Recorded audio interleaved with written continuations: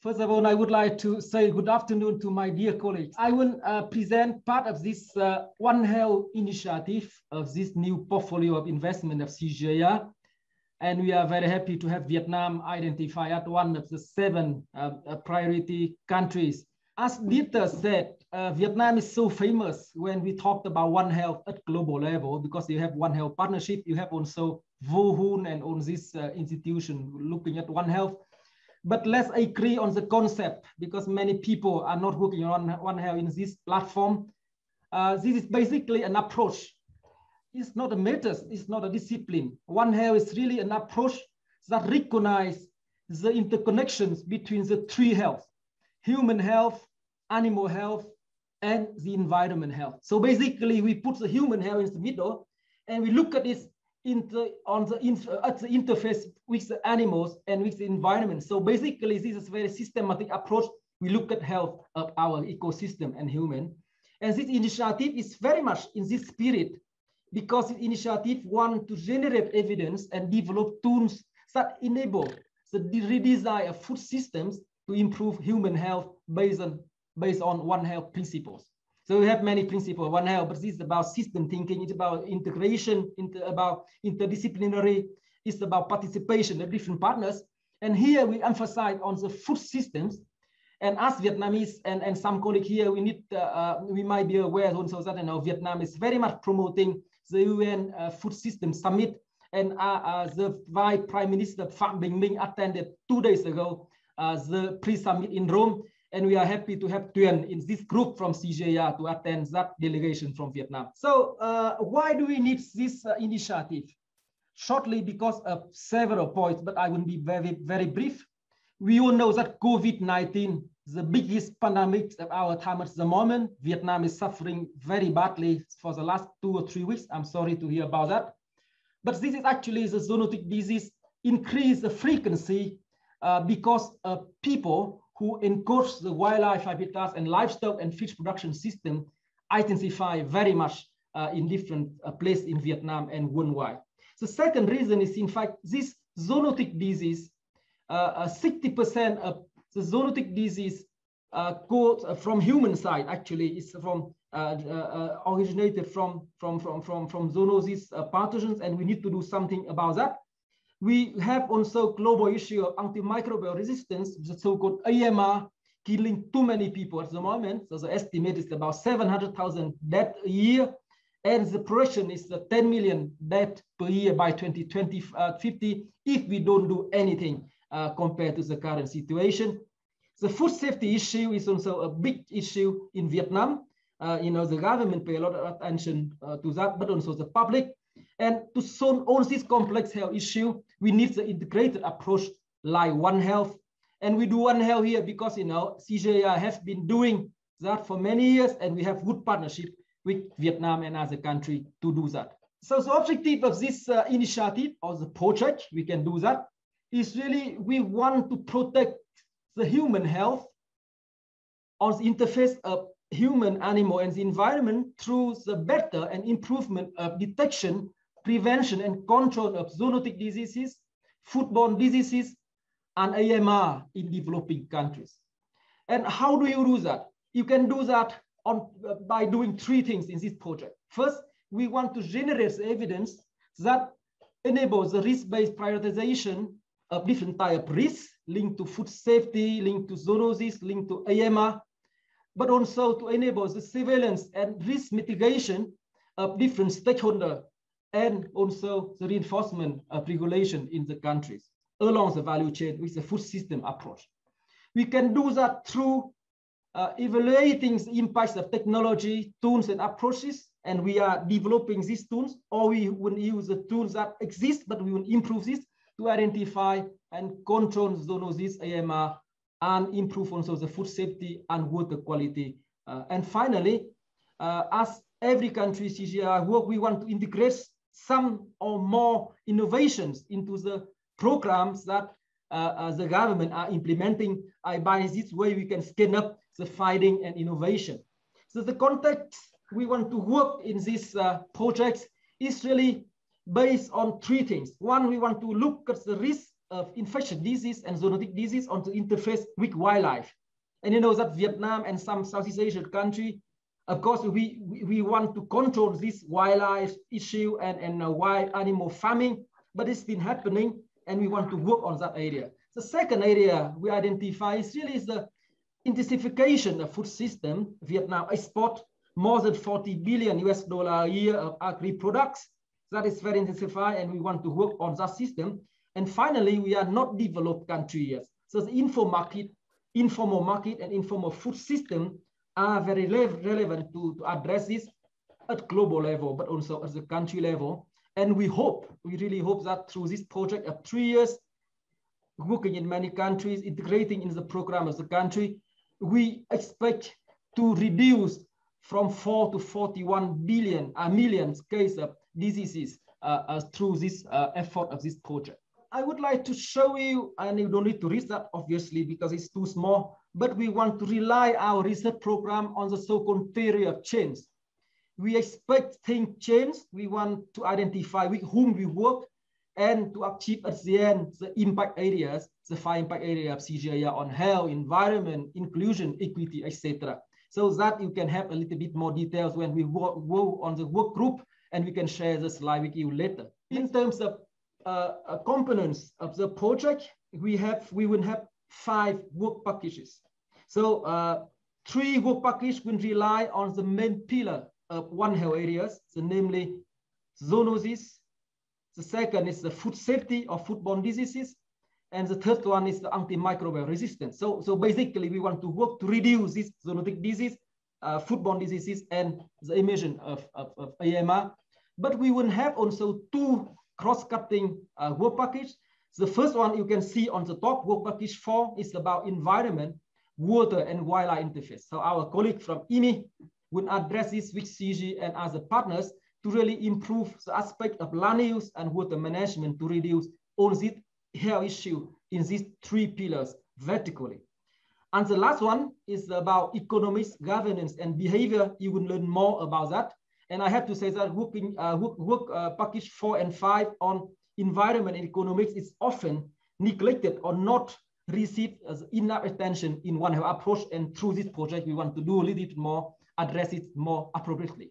So now I would like to, to, to invite my colleagues to step in uh, to talk a little bit more about the contents and approach and innovations we want to have. And for the Package one, I would like to invite my colleague Bernard Bett, who is actually leading the One Health Center in Africa. But he also very familiar to Vietnam because he works on dengue fever and some other diseases in Vietnam. Bernard, over to you. Thanks a lot, Hung, and also the previous presenters. I think it was very good to arrange the two presentations to be done at the same time. Because if you think of zoonotic diseases, actually, it's just a manifestation of many other things which have happened in production, um, value chains, and things. So the focus of this work package is to preempt diseases from spilling over to humans from animals. And when, what we heard from Sapling is this, this a plan by the government to enhance livestock production, mainly focusing on pigs and other um, livestock production, production systems. And when we do that, there usually some externalities which come out from that production uh, process. And so this work package focuses on two main objectives. So the first one is to preempt these diseases from spilling over. And we are thinking of pandemics, epidemics. These are diseases like COVID, MERS, or Nipah viruses, which when they occur, they occur with a much more, much more uh, incidence, speed, and affecting multiple populations, multiple countries. So the focus of this work package will be to use surveillance as well as identify high risk production systems and behaviors which are likely to, to, to precipitate uh, these occurrences and hence aim to maintain or limit the occurrence of these diseases at the animal level. So that's the main focus. The second objective, of course, is to think of the endemic diseases, diseases which have been with us for a long time. And we think of Vietnam, we usually work with our colleagues, Fred and other people working on cysticercosis in pigs, there's leptospirosis, there's Japanese encephalitis. And the main purpose there would be to find ways of controlling them to limit the incidence of these diseases to the bare minimum, which will really severely reduce the human health burden. So those are the two main objectives. And, and, and uh, Peter, we can trans go to the next slide, just to give you a flavor of two main um, innovations that we aim to produce. And the first one is to map uh, the distribution patterns of these diseases. And mapping here is not just a physical map, but also mapping where interactions between wildlife, livestock, and humans are likely to occur. We know in Vietnam and other uh, Southeast countries, there is lots of captive farming which is coming into play. And so we want to identify those value chains and see where are we, where is it likely to be that we'll see high risks occurring. So the second objective is to come up with new technologies, for example, diagnostic kits. And I know my colleagues like Fred, they have been aiming to train uh, slaughterhouse workers on how to identify um, um, these pathogens before the, the, the meat and um, other products are put in the market. So the main focus would be to come up with new tools which can be used to identify those pathogens before they get into your, uh, the, the, the, value chain uh, systems. And as I said, these are just examples. We have many more, but for today, we can limit our discussions to those two. So over to you, Hung. Thanks a lot. Thank you, Bernard. So the second work package is about food safety and uh, maybe some of you uh, are aware of the food safety works that ILRI and other CG centers have been working with partners in Vietnam. I would say that it's not a new research area, but we want to strengthen and continue the good job we have been doing so far, with the purpose to continue reducing the burden of foodborne diseases, uh, mainly with meat, milk, and egg, because we are from uh, One Health and animal source food. But we start looking also as a perishable food like fruit and, and vegetable, which are the centers, you know, and, and uh, uh, we wouldn't do that through uh, these informal and traditional food systems. It is very much uh, uh, growing also towards the supermarket system as well. And we want to develop the simple technologies and non-punitive uh, governance approach implemented along the food value chain from production to consumption, the so-called farm to fork that we will continue really from the farm through slaughterhouse, market, and consumption. Next slide, please. Uh, the innovations uh, uh, we want to develop, uh, I would say that uh, we would continue the innovation we have been developing. For example, here two examples among others, to support value chain actors to improve food safety through training, certification, and promotion of the demands on consumption side, consumer side, and also of government in the development uh, a feasible non-punitive approach to regulatory enforcement. So basically, in developing countries, we have a lot of laws and regulations. Sometimes it's not working uh, in terms of reinforcement. So we need to balance a bit how to introduce this with the more incentive Uh, uh, uh, perspective when you introduce intervention. And the second innovation type of things. So we want to create the demand to change the behaviors of the, of the farmers, of the, food safety uh, actors uh, by introducing kind of, you know, for example, the nudge theory, how to push them to uh, change their behavior, but also to introduce a simple context-specific different type of physical uh, condition like color, code services and containers of raw and cooked uh, food, for example, the intervention we did in Vietnam and Cambodia. Uh, so that also something that we want to strengthen in, in this work package. Uh, third work package is about antimicrobial resistance. And I see many colleagues also working uh, with the uh, different project of ILRI and also Danida funded project in Vietnam as well. So that is a, quite uh, interesting areas uh, to work because uh, uh, emergence of antibiotics resistance, both from human side and also animal side, are very much linked to the overuse of antibiotics or more generally antimicrobials in livestock development. So, so we treat from animal side to prevent the, the human side. And, and for that, you know, we would use the integrated approach like you can see here, bringing the environmental perspective, human perspective, animal production and consumption to reduce the use of antimicrobials in animal system, but also to prevent the environmental pollution and the water system coming in uh, by improving the manual management and better understanding of the environment as a reservoir of AMR. So for example, here our colleague Arshnee uh, uh, who's from Denmark originally, but now she's working at ILRI and, and to lead the CGIAR AMR hub. Uh, she will develop with colleagues and with you from Vietnam as well different type of innovation here to example.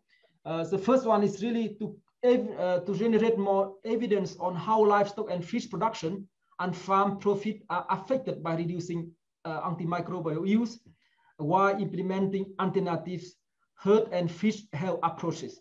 So you see, you see uh, we, we have a colleague from WorldFish also here, Mohan, who will work with Arshnee on this side.